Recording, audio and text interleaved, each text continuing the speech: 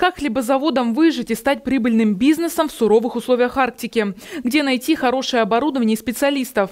Как наладить логистику и не разориться на доставке ингредиентов в условиях санкций? Эти вопросы обсудили руководители машиностроительных производств и представители Российского союза пекарей.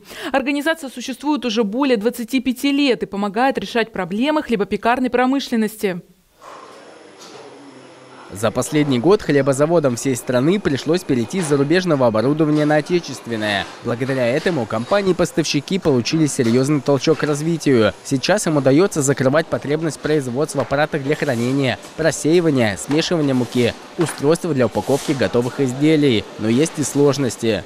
Есть, конечно, проблемы. Есть проблемы с логистическими цепочками, есть проблемы с комплектующими.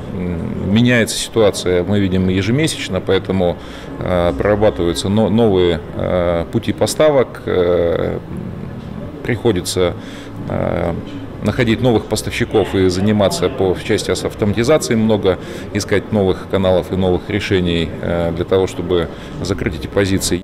Как поддержать пищевое машиностроение? Главный вопрос на повестке заседания хлебопеков. По мнению специалистов, нужно увеличить объем вложений и освободить компании от налогов на 5 лет.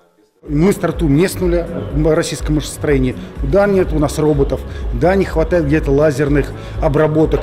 Это все достижимо, это все возможно. Наши неокры работают, наши НИИ работают, институты работают. Нам нужно дать машиностроению выдохнуть чуть-чуть, да, там вот, чтобы они э, набрали силу. Э, вы знаете, нельзя э, корову не кормить и много доить. Нужно сначала хорошо кормить, а потом будем много доить.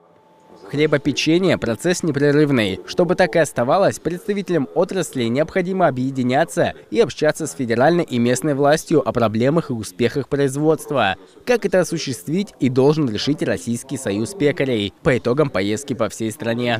Кирилл Грапеняк, Борис Савельев, ТВ-21+.